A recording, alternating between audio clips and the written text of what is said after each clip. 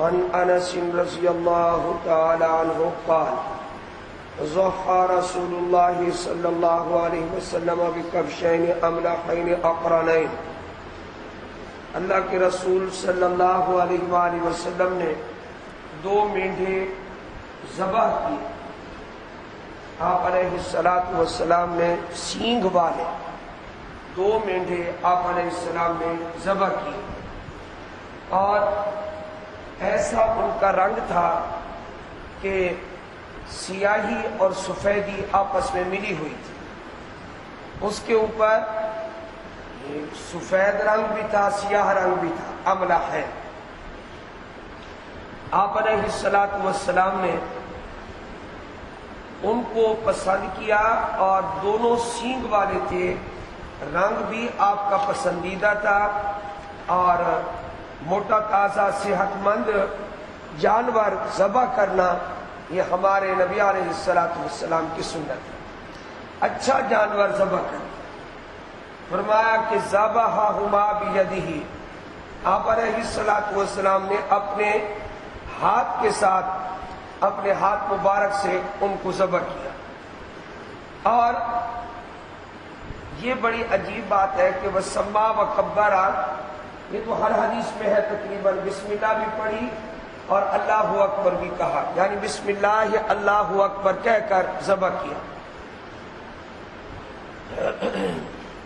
حضرت یہ فرماتے ہیں، انس رضی اللہ تعالیٰ عنہ، میں نے دیکھا واضح قدم ہو اللہ صفا آپ علیہ السلاط والسلام نے اپنا قدم مبارک رکھا ہوا تھا ان کے چہرے پر۔ صفاح عربی کا لفظ ہے، اس کے کئی معنی ایک معنی چہرہ ہے، ایک معنی پہلو ہے۔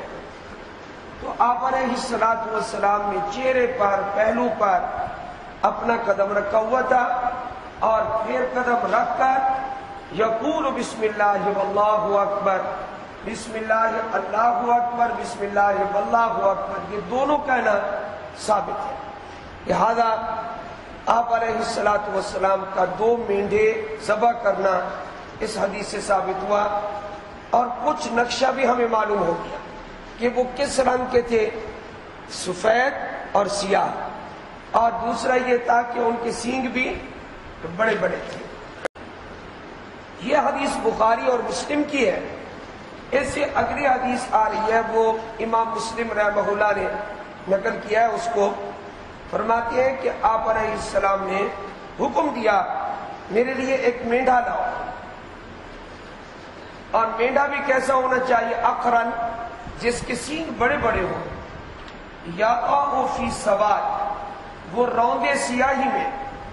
سیاہی میں روندے کا مطلب ہے چلے، سیاہی میں اس کے پاؤں سیاہ ہو بھیا برو کو فی سوال اور وہ بیٹھے تو سیاہی میں بیٹھے، اس کا پیٹ بھی سیاہ ہو۔ بیان جو فی سوال اور دیکھے تو سیاہی میں دیکھے۔ بہت ابھی نہیں ذخی ابھی اب وہ تلاش کر کے لایا کیا آپ نے اس کو ذبح کرنا تھا۔ تو آپ نے ام المومنین رضی اللہ تعالی عنہ کو حکم دیا، یا آشا اے آشا حلومی المدیت۔ لے کر آ چھری۔ اور ساتھ ہی فرما دیا، اس کو ذرا پتھر کے ساتھ تیز کر لیں تاکہ جانور کو تکلیف نہ ہو۔ اس سے ہمیں ایک ادب معلوم ہوا کہ ایسی چھری جو کند ہو اور تیز نہ چلے، وہ استعمال نہیں کرنی چاہیے۔ تیز چھری استعمال کرنی چاہیے کہ جس سے جانور کو زیادہ تکلیف نہ ہو۔ تو چھری کو تیز کر لینا یہ آپ علیہ السلاط والسلام کی سنت ہے۔ تو ایک تو مینڈوں کا ذبح کرنا دوسرا چھری کا تیز کرنا۔ اس کا بڑا خیال رکھنا چاہیے۔ حضرت ام المومنین نے ایسا کیا۔ پھر آپ نے اس مینڈے کو پکڑا۔ چھری کو بھی پکڑا، مینڈے کو بھی پکڑا۔ فس جاؤ۔ اس کو خود ہی لٹا دیا۔ سما ذبح ہو پھر آپ نے ذبح کیا۔ بسم اللہ، اللہم تقبل من محمد و آل محمد و من امت محمد صلی اللہ علیہ وسلم۔ کہیں بھی آپ علیہ السلاط والسلام نے اپنی امت کو بھلایا نہیں ہے۔ آپ علیہ السلاط والسلام نے یہ دعا کی، اے اللہ، یہ جو جانور ہے میرا، اس کو قبول کر۔ کس کی طرف سے؟ میم محمد محمد کی طرف سے قبول کر۔ صلی اللہ علیہ وآلہ وسلم۔ یہاں سے ان پیروں کا تو بڑا رد ہوا، جو پیر یہ کہتے، فکر نہ کر۔ بس ہم تجھے جنت میں لے جائیں۔ یہاں دیکھو ذرا کیا آپ علیہ السلام یہ نہیں کہہ رہے اور بھائی ہمارا تو ہر عمل قبول ہے۔ حالانکہ یقیناً ہمارے نبی کا ہر عمل اللہ کی بارگاہ میں قبول تھا، لیکن حضور نے کبھی نہیں فرمایا۔ حضور نے دعا کی ہے۔ کیا فرمایا؟ اللہ تقبل من محمد۔ اے میرے پروردگار، اے میرے اللہ، یہ محمد کی طرف سے قبول کر۔ یہ انداز تھا۔ تو انداز آجزی کا ہونا چاہیے، نہ کہ ٹھیکیداری کا۔ ہم ٹھیکیدار ہیں، ہم تجھے جنت میں لے جائیں۔ یہ ٹھیکیداری والا انداز نہیں تھا۔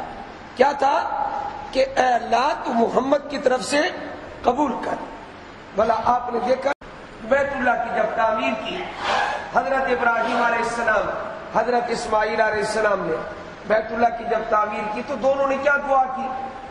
ربنا تقبل منا انك انت السميع العليم اے ہمارے پروردگار، جس طرح تیرے بیت اللہ کے بنانے کا حق تھا، تو اے اللہ، وہ حق ہم پورا ادا نہ کر سکے، تو ہماری طرف سے اس کو بس قبول فرمائی دے تو مہربانی کر کے قبول کر۔ ان کا انت سمیع العلیم۔ ہماری اس محنت کو، تیری شایان شان تو نہیں ہے، پیغمبر کہ ٹھیکیداری والا کام نہیں چلتا۔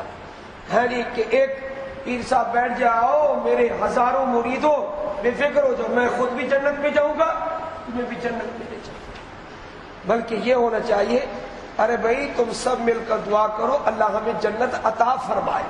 یہ بات ہونی چاہیے، ٹھیکیداری والی بات نہیں ہونی چاہیے۔ تو آج دیکھا آپ نے، حضور اکرم صلی اللہ علیہ وسلم کیا دعا کر رہے اللہ تقبل من محمد، اے اللہ تو محمد کی طرف سے قبول کر۔ صلی اللہ علیہ وآلہ وسلم۔ اور آل محمد۔ اور تو محمد کی آل کی طرف سے قبول کر۔ میرے گھر والوں کی طرف سے بھی قبول کر۔ ومن ومن ومن امت محمد۔ اور حضور اکرم صلی اللہ علیہ وسلم کی امت۔ فرمایا محمد کی امت کی طرف سے بھی قبول کر۔ اب بات کیا میڈھا ایک ہے۔ اور اے اللہ، محمد کی طرف سے بھی قبول کر۔ آل محمد کی طرف سے بھی قبول کر، امت محمد کی طرف سے بھی قبول کر۔ ایک منٹ میں اتنے آدمی کیسے شریک ہوں گے؟ اس کا جواب میں دے چکا ہوں۔ کیا یہاں قربانی صرف آپ کی طرف سے، کیونکہ مینڈا ایک ہے۔ قربانی صرف آپ کی طرف سے، لیکن ثواب میں شریک کرنا ہے سب کو کہ میری اس قربانی کے ثواب میں اللہ سب کو شریک فرما دے، اگرچہ قربانی صرف تو اس میں آپ یہ بھی کہہ سکتے ہیں، اے اللہ، یہ قربانی میں کر رہا ہوں، میری اس قربانی میں میرے ماں باپ کو شریک کر، میری اس قربانی میں میری اولاد کو شریک کر، میرے بھائیوں کو شریک کر، تو وہاں شرکت صرف کس میں ہوگی؟ ثواب میں، قربانی صرف ایک کی طرف سے ہوگی، اور جن جن پر قربانی واجب ہے، ان سب پر قربانی کرنا ضروری ہے، یہ نہیں ہے کیا کہ ایک نے شریک کر لیا، ثواب میں تو اب اسے قربانی میں ختم نہ قربانی ہر ایک کرے۔ آپ علیہ السلاط والسلام نے حضرت بی بی فاطمہ رضی اللہ تعالی عنہا کو کیا فرمایا؟ فرمایا، تم اپنی قربانی کے سامنے کھڑی ہو جاؤ۔ ظاہر اب قربان جو کرنے والے تھے، وہ کون ہوں گے؟ حضرت علی المرتضی رضی اللہ تعالیٰ نے تو فرمایا، اپنی قربانی کے قریب تم کھڑی ہو جاؤ، سامنے کھڑی ہو جاؤ۔ اور دیکھو کہ تو تمہاری قربانی کس طرح کی جا رہی ہے۔ فرمایا کہ پہلا قطرہ زمین پر یہ جب پہنچے گا، گرے گا، زمین پر جانور سے پہلا قطرہ نکلے گا، خون کا اسی وقت ہی پہلے قطرے کی ذریعے اللہ تعالیٰ تیرے گناہوں کو معاف فرما۔ اب آپ دو باتیں سمجھے پہلی بات، یہاں میں آپ کو یہ سمجھا رہا ہوں، عرض یہ کر رہا ہوں کہ حضور علیہ السلام نے قربانی کی ہے۔ آپ نے اپنی آل کو بھی اس میں شریک کیا ہے، لیکن حضرت فاطمہ تزارہ علیحدہ قربانی کر رہے اس کا کیا مطلب ہوا؟ کہ جن جن پر قربانی واجب ہے، وہ سب علیحدہ علیحدہ قربانی کریں۔ حالانکہ حضور دعا فرما چکے ہیں۔ کیا کہہ چکے ہیں؟ اے اللہ، میری طرف سے بھی قبول کر، میری آل کی طرف سے بھی قبول کر اور میری امت کی طرف سے بھی قبول کر۔ اگر یہی بات ہوتی تو پھر ساری امت قربانی نہ کرتی، کیونکہ حضور تو کہہ کر گئے ہیں، کیا؟ اے اللہ، میری امت کی طرف سے بھی کیا کر لیں؟ قبول۔ تو قربانی کا وجود ہی ختم ہو جائے۔ آپ علیہ السلام نے کس میں شریک کیا؟ سباب میں۔ تو سباب میں شریک کیا ہے باقی قربانی جن جن پر واجب ہے، ان کے اوپر کرنا لازم ہے۔ وہ قربانی کریں گے۔ حضرت فاطمت زارہ رضی اللہ تعالی عنہ کے بارے میں فرمایا، پہلے قطرے سے تیرے گناہ معاف ہو جائیں۔ یہاں پر رک کر ہم رافسیوں کو کہتے ہیں کہ تم لوگ ائمہ معصومین کو مانتے ہو۔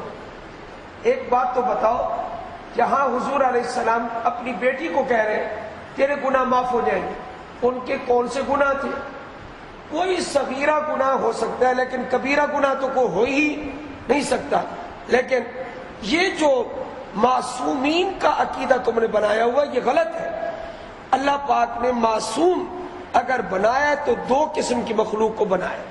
نمبر ایک، فرشتوں کو معصوم بنایا۔ وہ گناہ نہیں کرتے۔ نمبر دو اللہ نے اپنے نبیوں کو جتنے نبی آئے ہیں وہ معصوم ہیں۔ باقی ٹھیک ہے، اللہ کے نیک ہیں، بزرگ ہیں اور کبیرہ گناہوں سے بچے ہوں گے، لیکن سگائے وہ وہ تو ہوں گے۔ اور صغیرہ گناہ جو ہے، وہ تو وضو سے بھی معاف ہو جاتے آدمی وضو کرے، اس سے بھی معاف ہو جاتے اس لیے معصوم صرف دو ہیں۔ دو قسم کی مخلوق معصوم ہے اوپر آسمان پر فرشتے اور نیچے انبیاء علیہ السلام۔ باقی کسی کو معصوم ماننا یہ خلاف شرع ہے۔ بات چل رہی تھی قربانی کی۔ بھی پھر آپ علیہ السلام نے اس کو ذبح کیا، قربانی کے جانور کو ذبح کیا۔ آپ علیہ السلام کی اب جو خاص سنت میں بیان کرنے لگا وہ یہ، فلما بچہ ہوما جب آپ نے ان کا چہرہ قبلے کی طرف کیا تو یہ آیت پڑی تھی۔ انی بجا تو وجہ الذی فطر السماوات والارض ساتھ کے پڑھا، علی ملت ابراہیم حنیفہ وما انا من المشرکین. یہ پڑھی تھی آیت اور ان صلاتی و نسکی و محیایا و مماتی للہ رب العالمین، لا شریک له وبذلك امرت وانا من المسلمین. اول المسلمین کے بڑے وانا من المسلمین پڑھا۔ اب یہ چیزیں میرا خیال ہے، یاد نہیں رہیں گی، لیکن آپ کو ترجمہ سنا دیتا ہوں۔ اے میرے پروردگار، میں نے اپنا چہرہ ہاں پہلی آیت کا ترجمہ۔ بے شک میں نے اپنا چہرہ متوجہ کر دیا، اس ذات کی طرف جس نے آسمانوں کو پیدا کیا، زمین کو پیدا کیا۔ اللہ ملت ابراہیم۔ ہم کس کی ملت پر ہیں؟ حضرت ابراہیم علیہ السلام کی ملت پر ہے اور حنیفہ، جو تمام ادیان باطلہ کو چھوڑ کر اللہ کی طرف رخ کرنے والے تھے۔ وما انا من المشرکین میں شرک کرنے والوں میں سے نہیں ہوں۔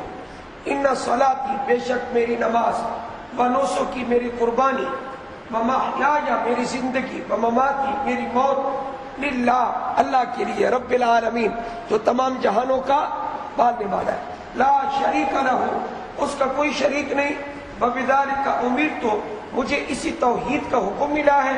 وہ آنا من المسلمین، اور میں مسلمانوں میں سے ہوں۔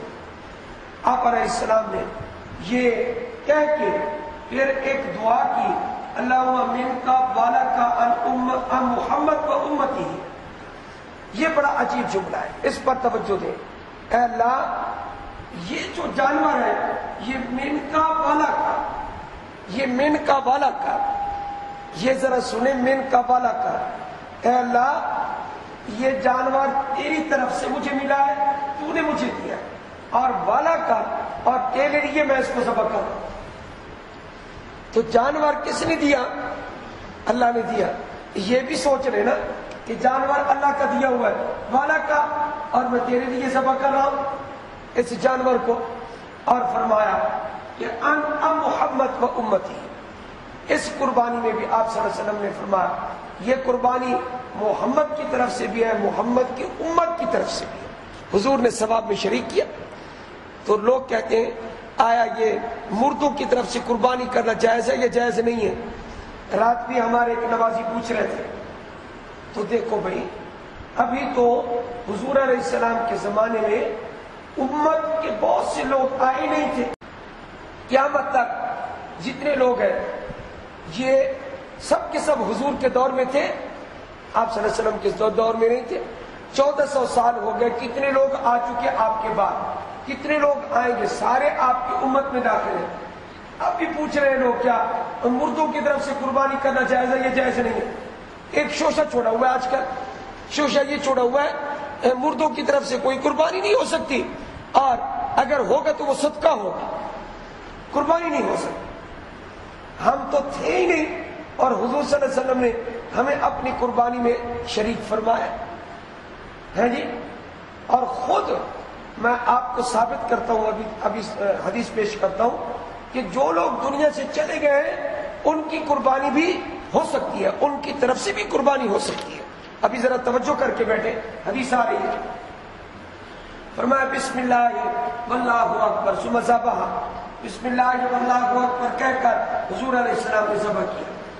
اور ایک حدیث میں جو بھی ہے، بسم اللہ واللہ اکبر، اللہم حاذا انی لم من امتی اے اللہ، یہ جانور میری طرف سے ہے اور میری امت کے غریب لوگ جو قربانی نہیں کر سکیں گے، یہ ان کی طرف سے تو ایک ہی جانور میں حضور علیہ السلام نے شریک کر دیا۔ کن لوگوں کو؟ غریب لوگوں کو بھی شریک کر دیا اپنی قربانی کے ثواب میں۔ اب ذرا سنو، حضرت حنش تابی ہے۔ حضرت علی رضی اللہ تعالی عنہ کی شاگرد قال رأيت علی جن یزحی بکبش ہے میں نے حضرت علی المرتضی رضی اللہ تعالیٰ عنہ کو دیکھا، دو مینڈے ذبح کر رہے فقلت له ما هذا؟ میں نے کہا، یہ دو کیوں کر رہے ہیں آپ؟ فقال، ایک تو چلو سمجھ آتا ہے، آپ کی قربانی ہے۔ اور دوسرا مینڈا بھی آپ ذبح کر رہے ہیں۔ کتنے مینڈے؟ دو۔ تو دو کی کیا وجہ؟ ہے تو فرمایا ان رسول اللہ صلی اللہ علیہ وسلم اوصانی مجھے نبی پاک صلی اللہ علیہ وسلم وصیت کر کے گئے، ان یا ان ہو، کہ میں آپ صلی اللہ علیہ وسلم کی طرف سے قربانی کرتا رہوں۔ فرمایا، فانا اصحی ان ہو، میں آپ کی طرف سے قربانی اب کرتا رہتا ہوں۔ جب تک حضرت علی دنیا میں رہے، تو آپ کی طرف سے بھی قربانی کرتے۔ حالانکہ حضور صلی اللہ علیہ وسلم دنیا سے تشریف لے گئے تھے۔ رواہ ابو دابود و روت کے مزید نہ چوٹی کے حدیث کے امام ہیں یہ دونوں۔ امام ابو داود، سجستانی اور امام ترمزی رحمہ اللہ دونوں نے اپنی اپنی حدیث کی کتاب میں یہ حدیث ذکر کی۔ معلوم ہوتا ہے کہ جو لوگ دنیا سے چلے جائیں، ان کی طرف سے بھی قربانی کرنا جائز ہے۔ ان کا حصہ رکھنا بھی جائز ہے۔ یہ البتہ ایک مسئلہ سن لیں۔ اگر تو جانے والا وسیعت کر گیا ہو، میری طرف سے قربانی کرے سارا گوشت بانٹنا واجب ہے۔ تقسیم کرنا غریبوں میں واجب ہوگا۔ اس کے حصے کا، اس کی قربانی کا۔ اگر وہ وسیعت نہیں کر گیا، پھر اس کے بھی تین حصے کر سکتے ہیں۔ ایک حصہ اپنے پاس، ایک رشتہ داروں کے پاس۔ اور ایک غربا میں۔ اور تین حصے کرنا بھی کوئی فرض واجب نہیں ہے۔ کوئی ضروری نہیں کہ آپ تین حصے کریں۔ آپ سارا اپنے پاس رکھنا چاہیں۔ لیکن اللہ کے لیے قربانی آپ نے کر دی۔ تب بھی ٹھیک ہے، لیکن بخل ہے۔ یہ بخل ہے۔ سارا اپنے پاس رکھ دیا ٹھیک ہے، قربانی ہو گئی، فرض ادا ہو گیا، لیکن ہے یہ بخل۔ خیر، نہیں، اس معاملے میں بخل نہیں کرنا۔ تقسیم کریں آپ، گوشت بانٹیں۔ یہ مزاج بنایا۔ چاہے ایک گھنٹے میں ختم ہو جائے۔ ایک گھنٹے میں ختم ہو گیا، پھر کیا ہو گیا؟ آپ بانٹیں، اللہ کے راستے میں دیں، خوب دیں آپ۔ یہ مزاج بنے اللہ ہم سب کو اس کی توفیق بھی عطا فرما نبی اکرم صلی اللہ علیہ وآلہ وسلم، امرنا رسول اللہ صلی اللہ علیہ وسلم ان نستشرف العین۔ حضور علیہ السلام نے فرمایا، صحابہ کو، آنکھ دیکھ لینا، جانور کی آنکھ کہیں نگاہ کمزور نہ ہو، آنکھ دیکھ لینا، بل اوزو نہ، کان دیکھ لینا، کان کہیں پھٹا ہوا نہ ہو۔ اور کان جو ہے اس میں کوئی سوراخ نہ ہو، یہ ذرا اچھے طریقے سے دیکھ لینا وہ اللہ نظاقیہ بے مقابلت بے مقابلت بلا مدابرت بے مقابلہ اور مدابرہ فرمایا کہ دیکھ لینا، کہیں آگے سے کان نہ پھٹا ہوا ہو، کہیں پیچھے سے پھٹا ہوا نہ ہو۔ بڑا شرقا کان چیرا ہوا نہ ہو۔ اور بلا فرمایا کہ آپ علیہ السلام والسلام نے فرمایا مشکوکت العزن اور عیب دار کوئی نہ ہو۔ آپ صلی اللہ علیہ وآلہ وسلم نے عیبوں کا ذکر کیا کہ عیب دار جانور نہ ہو۔ یہ ذرا اچھے طریقے سے تم دیکھ لینا۔ پھر جی ایک حدیث میں ہے کہ ارجا نہ ہو، لنگڑا نہ ہو، جس کا لنگڑا پن بالکل واضح ہو اور قربان گاہ تک بھی نہ جا سکے۔ کانا نہ ہو، جس کا کانا پن بالکل واضح ہو۔ اور ایسا بیمار جانور نہ ہو یعنی بس کو بالکل مریم قسم کا جانور۔ اور لاگے کمزور دبلا نہ ہو اور جس کی ہڈیوں میں گودا باقی نہ ہو، ایسا جانور بھی نہ ہو، یہ آپ صلی اللہ علیہ وسلم نے قربانی کے جانور کے لیے ہدایات جاری فرمائی۔ اس لیے قربانی کا جانور بے عیب ہونا چاہیے۔